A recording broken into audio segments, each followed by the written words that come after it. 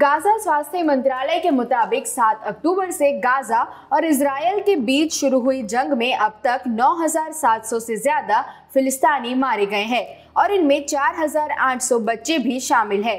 गौर करें कि युद्ध के दौरान अक्सर इसराइल सरकार और इसराइल के समर्थक बार बार गाजा में हुई मौत को लेकर सवाल उठाते रहे हैं। वहीं अमेरिकी प्रेसिडेंट जो बाइडेन ने प्रेस कॉन्फ्रेंस में कहा था कि फिलिस्तीन द्वारा बताई गई मरने वालों की संख्या पर भरोसा नहीं किया जा सकता। इसके बाद गाजा स्वास्थ्य मंत्रालय ने 212 पन्नों का ये डॉक्यूमेंट शेयर किया था, जिसमें मरने वाले छह लोगों की जानकारी है। इन सब के बीच इसराइल समर्थक ये क्लिप शेयर करते हुए दावा कर रहे हैं कि गाजा के इस मुर्दे ने अपना सिर हिलाया है। इसराइल के ऑफिशियल ट्विटर हैंडल ने सीएनएन की ये क्लिप ट्वीट करते हुए यही दावा किया। इसे 40 लाख से ज़्यादा व्यूज़ मिले थे। हालाँकि बाद में इस ट्वीट को डिलीट कर दिया गया। अमेरिका में इसराइल के दूतावास ने भी ये क्लिप ऐसे ही दावे के साथ ट्वीट की। कई बार फिलिस्तीन विरोधी गलत जानकारियाँ शेयर करने वाले इजरायली एक्टिविस्ट यूसुफ हद्दाद समेत कई यूज़र्स ने ये वीडियो फिलिस्तीन को टारगेट करते हुए शेयर किया। ऐसे में पीछे न रहते हुए भारतीय right wing social media accounts ने भी ये वीडियो ऐसे ही दावों के साथ शेयर किया। हालाँकि इस क्लिप की सच्चाई क्या है, हम आपको बताते हैं आगे इस वीडियो में। सबसे पहले तो हमने वायरल वीडियो में सीएनएन के साथ साथ Israeli news outlet N twelve का लोगो भी देखा। वायरल वीडियो में कथित रूप से शव को हिलते हुए दिखाने के लिए उसे लाल रंग के सर्कल से हाईलाइट किया गया है। हमने सीएनएन की ओरिजिनल रिपोर्ट ढूंढी। हमने देखा कि इस रिपोर्ट में रेड सर्कल से शव को हाईलाइट नहीं किया गया था। ध्यान से ये फुटेज देखने पर हमने पाया कि नीली टी शर्ट पहना ये शख्स, जब शव का कफन खोलता है, तब उसके सिर के पास की गांठ भी खुल जाती है। और ऐसा लगता है कि ये शव हिल रहा है।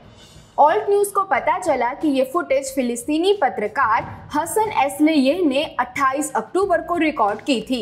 हमने उनसे कांटेक्ट किया, हसन ने शव के हिलने या फिर फर्जी शव के दावों को खारिज किया और हमें असली फुटेज भेजा। उन्होंने बताया कि वीडियो में दिख रही महिला अपने बेटे की मौत का शोक मना रही थी।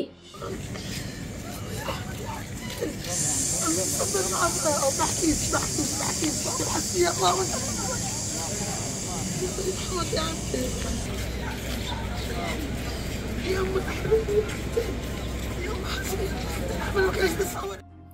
वीडियो देखने पर यह बात साफ़ हो जाती है कि नीली टी शर्ट पहना ये व्यक्ति जब लाश का चेहरा दिखाने के लिए कफन का एक हिस्सा हिलाता है, तब उसके ऊपर लगी गांठ हिल जाती है। यानी लाश अपने आप नहीं हिल रही थी। हसन ने हमें मौके की ये कुछ तस्वीरें भी भेजी। इनमें से स्क्रीन पर दिख रही इस तस्वीर में ये बोर्ड है। हालाँकि इस पर क्या लिखा है, ये ठीक से समझ नहीं आ रहा। इसलिए ऑल्ट न्यूज़ ने ऑनलाइन इससे मिलती जुलती कुछ तस्वीरें ढूंढी। हमें ये एक और तस्वीर मिली, जिस पर अरबी में दफन और अंतिम संस्कार की फ्री सेवा के बारे में लिखा था। यानी ये जगह गाजा का अल अक्सा अस्पताल है। तो जैसा कि आपने देखा, इजरायली सरकार और इसराइल के समर्थकों ने वायरल वीडियो शेयर करते हुए झूठा दावा चलाया कि कफन के नीचे वाले व्यक्ति ने अपना सिर हिलाया था। साथ ही ये दावा भी किया कि फिलिस्तीनी फर्जी रूप से मौत का नाटक कर रहे हैं। पहले भी ऑल्ट न्यूज़ ने ऐसे दावे खारिज किए हैं, जैसे ये फुटेज शेयर करते हुए दावा किया गया था कि ये बच्चा एक खिलौना है, जबकि ये चार वर्षीय बच्चे की लाश की तस्वीर है।